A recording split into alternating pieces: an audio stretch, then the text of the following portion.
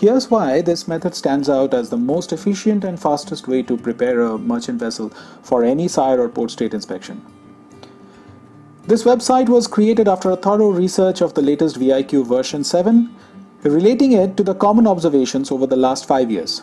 This includes a common wealth of over 10,000 observations from various sources, countries, and inspectors.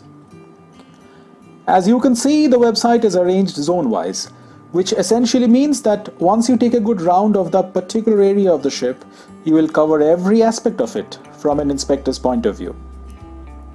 Simply click on the zone you want to inspect today and it will lead you to the relevant web page. Options are self-explanatory and can be used by anyone. While you are in the web page, you can simply scroll down and fill the checks online even if you quit the page, your selections will be saved for later when you come back to it on the same machine. Or you can download the checks in PDF format and save it on your PC, tablet, or mobile. Each PDF form that you download is fillable. It can be filled, saved, or sent online. Or you can print them out and take them with you.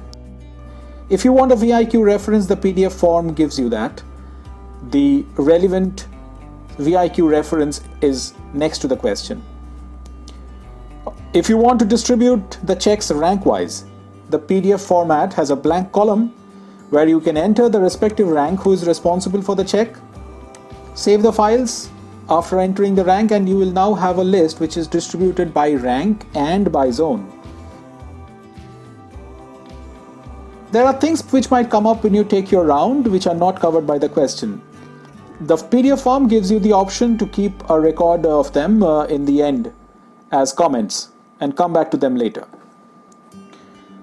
Crew competence and training is an exclusive focus of the latest VIQ and is also important during audits and port state inspection. This is tackled under the training and awareness module where you have a list of trainings required as per the VIQ. The PDF file here tells you exactly what knowledge is necessary for a certain rank and also gives you a brief detail which must then be made ship specific by the senior officers. Interestingly, it also gives you a model quiz which you can hold with the crew to check their level of knowledge before an inspection.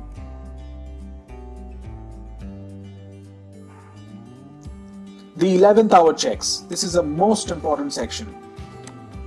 If the inspector is on board, you can still download this file and send one reliable officer or a crew member to take a good round of the ship to ensure everything is in order. It takes about an hour and this is less than the time the inspector would spend with his paperwork. Last but not the least, I am not kidding when I say that this is one of the fastest loading website on the planet right now. It loads in about 3.45 seconds even on the relatively slow internet connection which I have on board. Just to give you an idea, you will spend more time typing the words ship inspection guidance on Google and get your search results, which will rarely help you. Well, that's from my side.